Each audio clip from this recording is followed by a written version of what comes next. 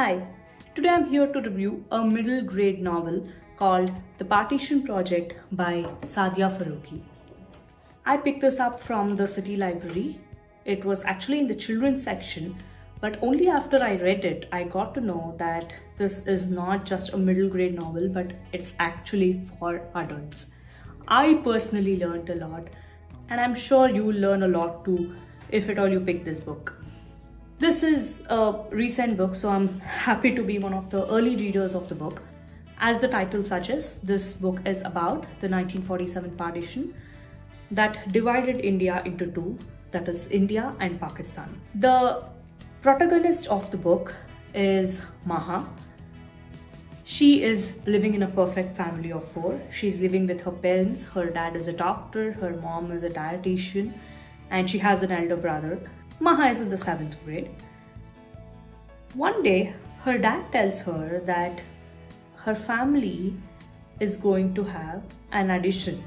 That is, her dadi, her father's mother, was coming to live with them. Her dadi's name was Rafia, and she started feeling uncomfortable that her dadi would be home with them for good. Maha was not so happy about this because the very first compromise she made was leaving her room for her dadi. Because being raised as an American, she wanted her own privacy and dadi coming into her room and Maha getting adjusted somewhere else was not her cup of tea.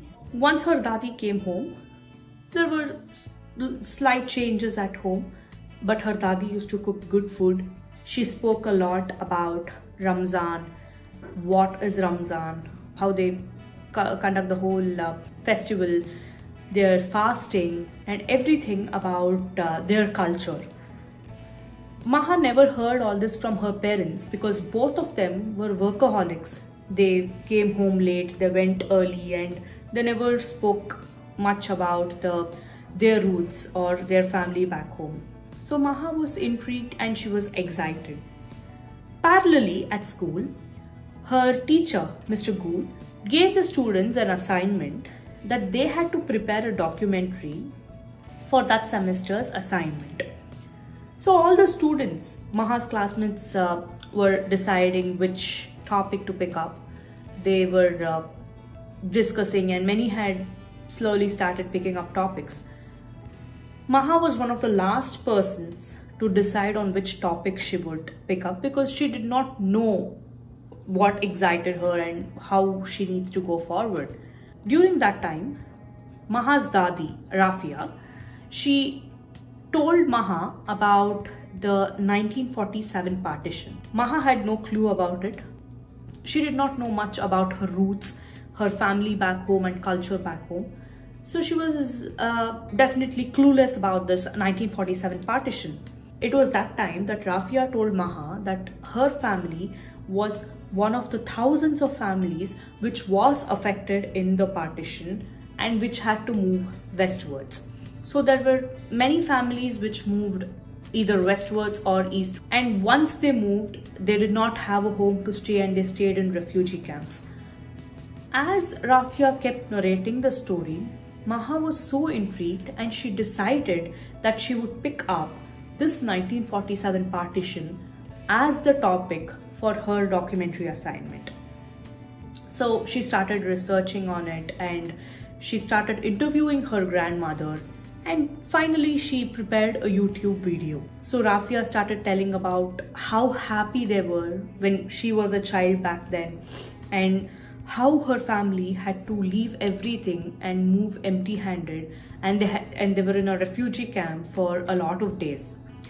She also mentioned about one of her friend named Rashida whom she met in the refugee camp. This character Rashida is important and you'll get to know the reason only after reading the entire book and I like the ending a lot.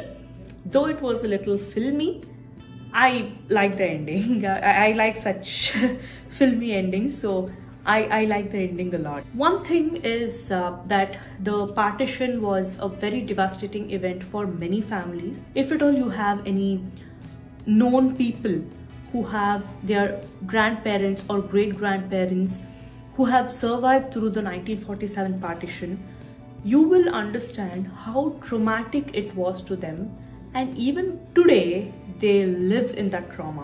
The 1947 partition has as I said earlier, affected many families. It has taken away many lives, and it is a very important event to many families both in India and Pakistan. As an immigrant, um, I would like to tell you that the initial chapters, especially, were so relatable to me, and I like the whole book a lot. And since it's a middle grade novel, supposed to be a middle grade novel, the language is simple and I could finish it very easily. More than all, I learned a lot. This is the beauty of historical fictions. They teach you a lot in a fictionalized manner without boring you like a textbook. So as I said, it is definitely not a middle grade novel, though it is categorized to be one. I definitely recommend this to each one of you. If at all you're an immigrant, please do pick this up because you can relate a lot to a lot of instances that uh, the author has written in the book. A big thanks to the author Saadia Faruqi for giving us this wonderful novel. You have definitely gone into the mind of an immigrant and you have written many instances. Uh, I loved all your references a lot. So thank you so much. And even the book cover is really attractive.